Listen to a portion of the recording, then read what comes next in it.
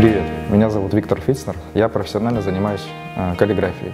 Сегодня я передам вам свои знания и опыт в каллиграфии остроконечной кистью. Курс состоит из базовой и прогрессивной части, поэтому будет интересен тем, кто э, начал заниматься каллиграфией, и тем, кто уже ей занимается. На курсе мы рассмотрим все буквы шрифта, двухписьменности, латиницы и кириллицы, строчные, прописные, неалфавитные знаки, их взаимосвязь и выполним много интересных заданий, а также поговорим об инструментах. Еще будет вторая часть курса, прогрессивная.